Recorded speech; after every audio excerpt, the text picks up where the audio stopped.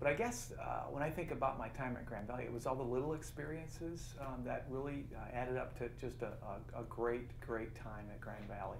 Even though we were this small college, I think it was about 4,000 students in 1982 at that time when I started, and we were this little college in the cornfield, but there was always things to do. I mean, every day Monday through Friday during the school time and the weekends, obviously, are things to do. But it's it's uh, talking about pride, um, talking about just you know the, the whole West Michigan piece. But it's not just a Michigan pride. It's I think Grand Valley is just a gem in the Midwest and frankly in the country. And, and I keep up on it, obviously, read about it, and uh, just great things to say about the, the university and, and one, Sam Eiler, and uh, Sam was in communications at the time. He was my communications professor, and it was an entry level class.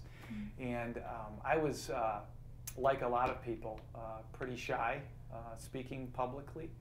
And I just remember him, um, you know, kind of connecting uh, with, I think, with all the students in the class, but I just seemed to have a really good connection with them. And it wasn't just you know the mechanics of speaking that, that he really helped me on. It was kind of building the confidence. Mm-hmm. And that one class, an entry level communications class, really meant a lot to me. And uh, I think about you know Sam and, and his influence uh, you know quite a bit over the years. Sure. Uh, Ron Gates comes to mind.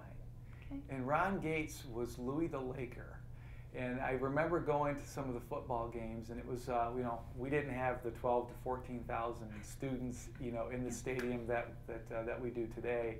Uh, it was uh, a bit more intimate, so there was, you know, 4,000 maybe on a, on a, on a strong day. But um, despite that, uh, just seeing Ron Gates and Louie the Laker out there and just kind of getting people all charged up uh, for the game was just just one of those those fun memories.